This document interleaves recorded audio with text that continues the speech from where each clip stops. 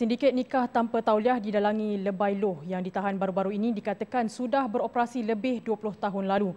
Bekas imam berusia 71 tahun itu dikatakan menjadi uh, menjadikan kediamannya di kampung Cucuh Putri dekat Kuala Krai sebagai lokasi akad nikah.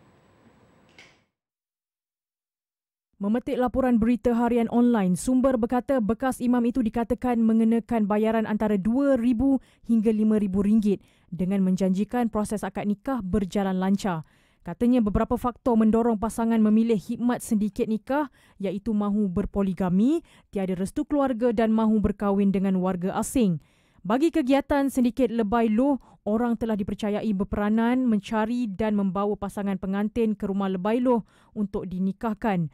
Bayaran dikenakan dikatakan bergantung kepada tahap kesulitan dialami pasangan dan bayaran dibahagi sama rata antara orang tengah dan lebay loh. Kita dapati kahwinan telah jalan lama secara sindiket bukan sahaja melibatkan rakyat Kelantan tapi juga melibatkan rakyat di luar Kelantan.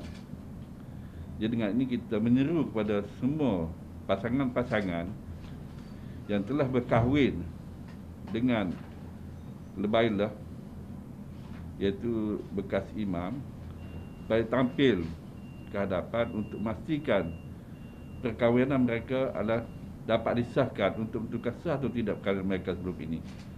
Sebab kita bimbang dia duduk dalam keadaan suami isteri, dapat anak dan sebagainya, sedangkan perkahwinan dia tidak sah. Akibat dalam perkahwinan telah dilaksanakan melalui sindiket.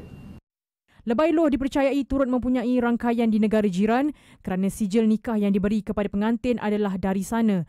Sebelum ini pasangan yang mahu berpoligami atau gagal mendapat restu keluarga memilih berkahwin di negara jiran tetapi kini banyak sindiket dikesan beroperasi di Kelantan.